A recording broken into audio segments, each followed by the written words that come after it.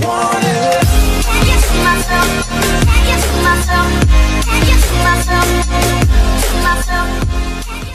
It's that time of the week again. Welcome back, all the Centy fans, to another unboxing of the Centy Toys Swift Dzire. Yes, this time I've got a Swift Dzire. Okay, this is a pretty old Swift Dzire, so um, I don't think it'll be much interesting. But what's interesting is its details. Yes, the Seni Toys put a lot of details into this car, but sadly, it's not door openable. Yes, that's the only sad part. I mean, come on, Centy Toys, why not? It is such a good looking car. I love the paint job. I can just see it through here. The paint job is really, really nice, and we'll check out more details in the unboxing part. But if you guys are new to my channel, please hit that subscribe button down there real quick. And don't worry, the links for this car will be in the description. But don't just go yet. Come on, guys, check out the video. You guys came here for the unboxing, right? I'll give you the unboxing. And if you want to check out more of my collections, like the Hot Wheels, which I have in the background, it'll be in the Instagram page. Yes, right here. You can check it out. And uh,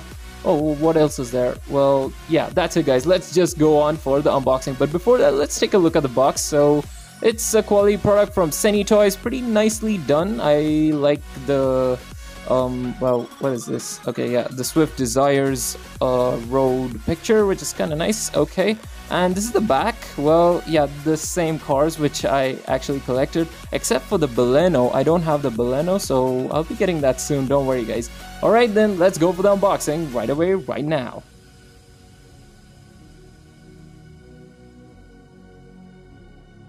The very first look of the Swift Dzire. Okay, fine guys. First things first, the Centy Toys is actually improving their cars really fast. And wow, first things, the attention to detail on this car. The paint job is unbelievable. It's very nice and more glossier compared to other uh, Centy Toys models. Even better than the Swift, which is, I mean, the actual Swift, not the Dzire version, which actually has the same paint job, but it's not as glossy as this one so yeah leaving that and this car has got really good attention to detail. The headlamps are pretty nicely carved out and the front chrome hasn't disappointed me this time. It looks good on this car.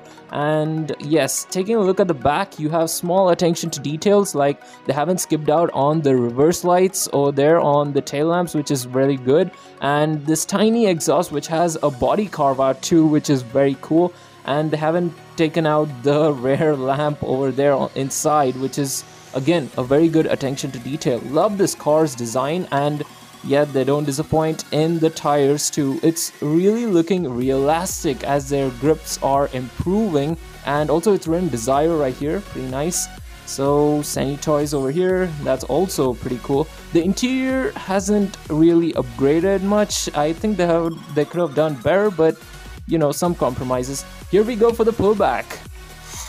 Okay that's pretty fast. So i really like this car guys in terms of details. Now let's go for its info so looking at the specs of the Suzuki Swift Dzire, this is actually the 2012 edition and let's talk about its top speed at first. Yes, the top speed is pretty disappointing, 155 kilometers per hour, that's 96 miles per hour and it won't go any further until you modify it. Well, going for the acceleration time, that's also pretty disappointing. They say it does it in 12.6 seconds, but I think it might take longer than that. Going for the horsepower, you have two engine options, which is a 1.2 liter inline four cylinder that produces 82 horsepower, and then you have a 1.3 liter inline four cylinder that's 75 horsepower. Well, that is actually a diesel engine. Uh, talking about that more, uh, first we go for the engines. Yes, uh, there's a 1.2 liter K12M inline four cylinder, that's a petrol engine, and then you have a 1.3 liter D13A, which is a turbocharged diesel engine, and still puts out 75 horsepower, which is really embarrassing actually. Going for the transmission, you have a 5-speed manual and then you get a 4 or a 5-speed automatic. It's your choice for this Econo box. Going for the body style, it's a 4-door mid-size sedan. And this car is only available in front-wheel drive variants. There's no all-wheel drive. Anyways, who expects an all-wheel drive from this car? Okay, that would be pretty hilarious. Alright guys, that's the end of the info. So I hope you guys got some knowledge on this car. Now let's talk about its ratings. Okay, the ratings part, uh, out of a 10, I give it an 8 out of 10, guys, because of its details and details only, not because of its performance. So do comment your ratings down below. Let me know your thoughts on this car and subscribe if you guys are new. And that's the end of the video, guys. I hope you guys enjoyed it. If you did, hit that like button, hit the subscribe button, and stay tuned for more. Don't forget to follow me on Instagram and Facebook. See you next time. DCS out. Thanks for watching and do subscribe!